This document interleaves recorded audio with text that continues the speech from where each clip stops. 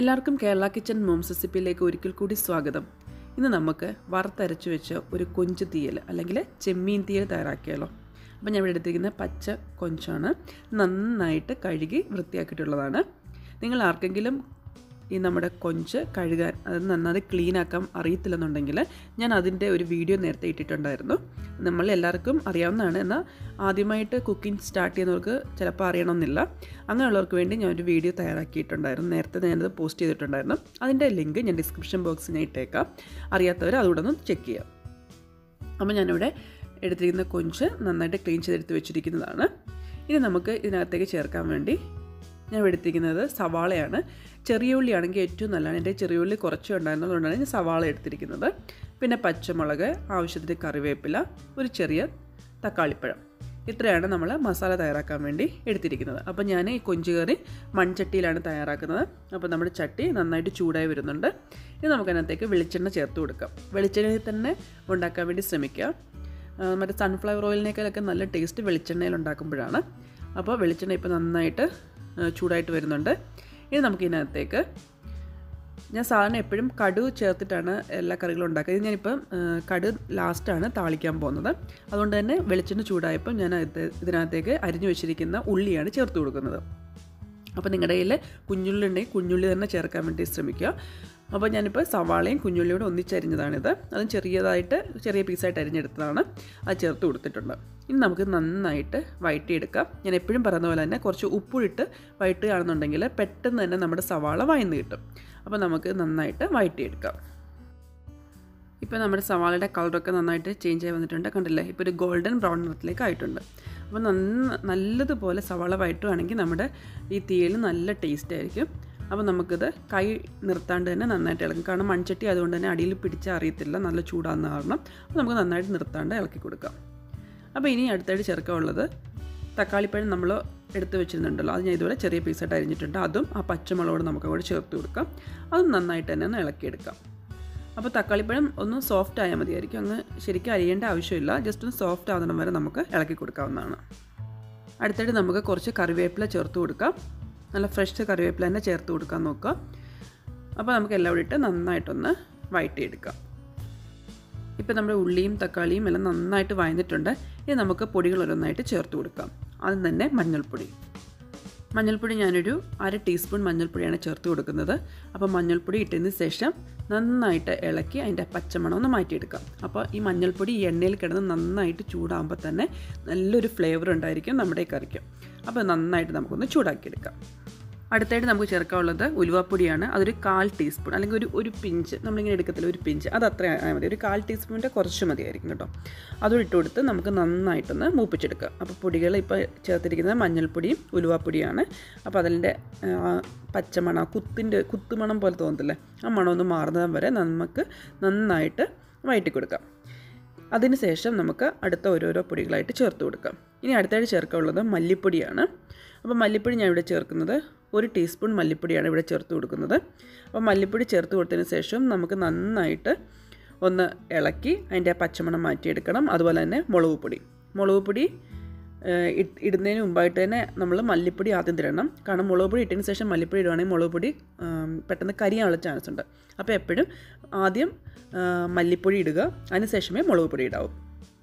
അപ്പോൾ ഞാനിവിടെ ഒരു ടീസ്പൂൺ വെച്ചാണ് മുളക് പൊടിയും മല്ലിപ്പൊടി ഇട്ട് കൊടുത്തിരിക്കുന്നത്.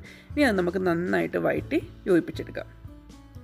ഇനി നമുക്കിനകത്തേക്ക് നമ്മൾ എടുത്തു വെച്ചിരുന്ന പ്രോൺസ് ഇട്ട് കൊടുക്കാം.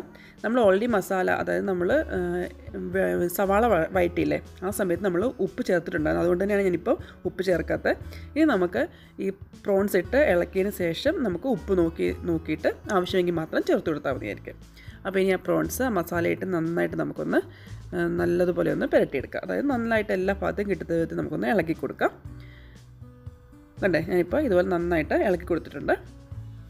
ഇനി നമുക്ക് ഇതിനകത്തേക്ക് കുറച്ച് വെള്ളം കൂടി ഒഴിച്ചു കൊടുക്കാം. ഞാനിപ്പോൾ ആദ്യം അര ഗ്ലാസ് വെള്ളമാണ് ഒഴിച്ചു കൊടുത്തത്. അപ്പോൾ ഞാൻ ഇളക്കിയപ്പോൾ ഇച്ചിരിയുടെ വെള്ളം വേണം തോന്നി. അങ്ങനെ ടോട്ടൽ ഞാൻ ഒരു ഗ്ലാസ് വെള്ളമാണ് ഒഴിച്ചു കൊടുത്തിരിക്കുന്നത്.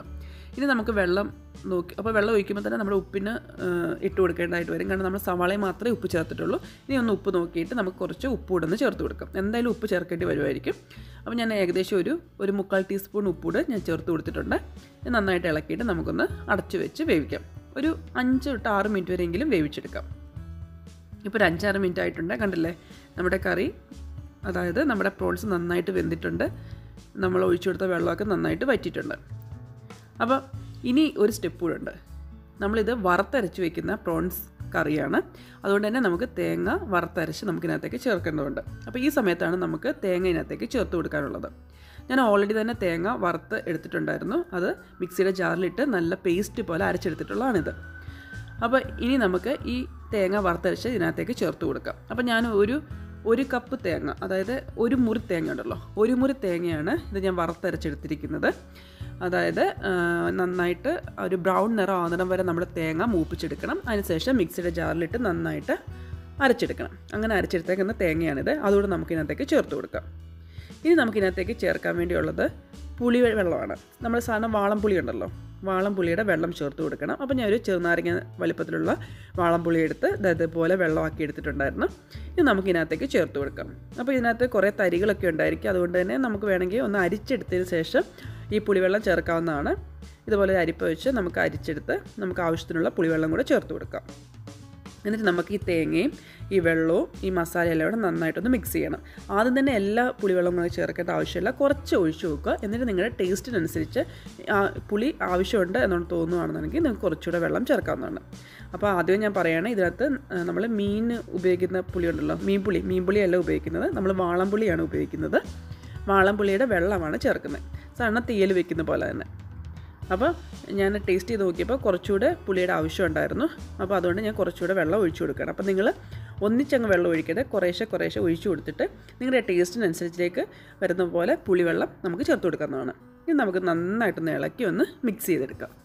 ഇനി നമുക്കിതൊന്ന് ഒന്നുകൂടെ അടച്ചു വെച്ച് നന്നായിട്ടൊന്നുകൂടെ ഒന്ന് സ്റ്റീം കയറ്റിയെടുക്കണം അത് നന്നായിട്ട് തിള ഇപ്പം തന്നെ തിള വരുന്നുണ്ട്. അപ്പോൾ ഒന്നുകൂടെ ഒന്ന് അടച്ചു വെച്ച് നമ്മുടെ തേങ്ങയൊക്കെ ഇപ്പോൾ ചേർത്ത് കൊടുത്തല്ലോ. അപ്പോൾ അതിന് വേണ്ടി കുറച്ചുകൂടെ ഒന്ന് തിളപ്പിച്ചെടുക്കാം.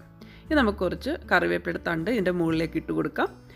അപ്പോൾ ആ ആവിയിൽ ആ കറിവേപ്പിലയുടെ ആ ഫ്ലേവറോടെ വരുമ്പോൾ നല്ല ടേസ്റ്റ് ആയിരിക്കും നമ്മുടെ കറിക്ക്. ഇതാ ഇപ്പോൾ ഏകദേശം ഒരു അഞ്ച് മിനിറ്റ് ആയിട്ടുണ്ട്. കണ്ടില്ലേ നമ്മുടെ കറിയൊക്കെ നന്നായിട്ട് കുറുകി വന്നിട്ടുണ്ട്. കണ്ടില്ലേ ചാറ് കണ്ടില്ലേ നല്ല കുറുകിയ ചാറായിട്ടുണ്ട്. ഈ പരുവാകുമ്പോൾ നമുക്ക് തീ ഓഫ് ചെയ്തെടുക്കാം.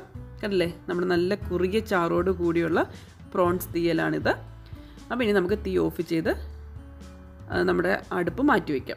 ഇനി നമുക്ക് ഒരു പ്രോസസ്സ് കൂടെ ലാസ്റ്റ് ആയിട്ടുണ്ട്. അതായത് നമുക്ക് കടുക് വറുത്ത് താളിക്കാൻ വേണ്ടിയുണ്ട്.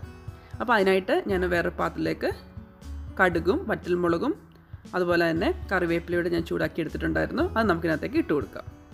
ഇത്രയേ ഉള്ളൂ. ഇതാണ് ലാസ്റ്റ് പ്രോസസ്സ് അപ്പോൾ കടുകൂടെ വറുത്ത് ചേർത്താലേ തീയലിന്റെ പൂർണമാകത്തുള്ളൂ. എന്നാലേ നല്ലൊരു ടേസ്റ്റ് കിട്ടത്തുള്ളൂ. അപ്പോൾ വളരെ എളുപ്പം തന്നെ നമുക്ക് തയ്യാറാക്കി എടുക്കാവുന്നതാണ് നമ്മുടെ പ്രോൺസ് തീയൽ. ഇനി നമുക്ക് സെർവ് ഡിഷിലേക്ക് മാറ്റാം. അതുപോലെ തന്നെ കടുക് വറുത്ത് ചേർത്തതിന് ശേഷം എപ്പോഴും നിങ്ങളൊന്ന് അടച്ചു വെക്കുക. എന്നാലേ ആ ഫ്ലേവർ ആ നമ്മുടെ ഫുൾ കറിക്ക് കിട്ടത്തുള്ളൂ. അല്ലെങ്കിൽ ആവിയിൽ ആ ഫ്ലേവർ അങ്ങ് നഷ്ടപ്പെടും. എന്നാലും ടേസ്റ്റ് ഉണ്ടാവും. എന്നാലും നല്ലൊരു മണവും വരണമെന്നുണ്ടെങ്കിൽ നമ്മൾ കടുക് താളിച്ചതിന് ശേഷം നമ്മൾ അടുപ്പ് അടപ്പ് വെച്ച് ജസ്റ്റ് ഒന്ന് അടച്ചു വെക്കുവാണെങ്കിൽ ഒരു അഞ്ച് മിനിറ്റ് നേരമെങ്കിലും അടച്ചു വെച്ചാൽ മതിയായിരിക്കും. അപ്പോൾ ഇത്രയേ ഉള്ളൂ നമ്മുടെ തീയൽ ഇവിടെ റെഡി ആയിരിക്കുന്നു. അപ്പോൾ ഇന്നത്തെ റെസിപ്പി നിങ്ങൾക്ക് ഇഷ്ടപ്പെട്ടെങ്കിൽ തീർച്ചയായിട്ടും ലൈക്ക് ചെയ്യാനും ഷെയർ ചെയ്യാനും മറക്കണ്ട കേട്ടോ. അതുപോലെ തന്നെ ആദ്യമായിട്ടാണ് ചാനൽ കാണുന്നെങ്കിൽ സബ്സ്ക്രൈബ് ചെയ്യാനും. ആ സൈഡിലുള്ള കുഞ്ഞു ബെൽ ബട്ടൺ അമർത്തുകയാണെങ്കിൽ ഞാൻ ഇടുന്ന റെസിപ്പികളും ഇൻഫോർമേറ്റീവ് വീഡിയോകളും നിങ്ങൾക്ക് പെട്ടെന്ന് തന്നെ കിട്ടുകയും ചെയ്യും. അപ്പം ഇന്നത്തെ ഇത്രയേ ഉള്ളൂ. അപ്പോൾ അടുത്ത വീഡിയോ ആയിട്ട് കാണുന്നവരേക്കും. Bye bye